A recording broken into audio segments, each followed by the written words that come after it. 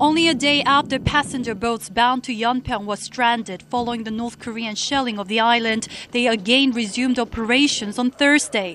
Residents returned home only to hurry up and leave once more just hours later. 그러니까 너 뭐 타고 가려고?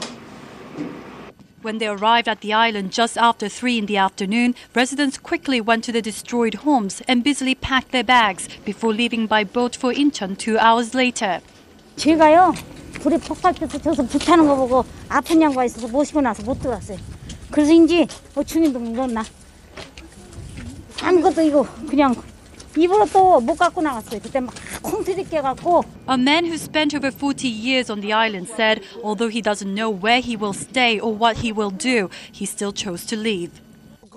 How can I live in this scary place? After seeing houses being destroyed, I cannot stay here anymore. It was my first time seeing such an assault. I cannot live here anymore. The destroyed homes and buildings on Yeonpyeong truly put Tuesday's bombardment into perspective. Some people who lived here for more than 70 years and experienced the Korean War said it was like experiencing the war all over again.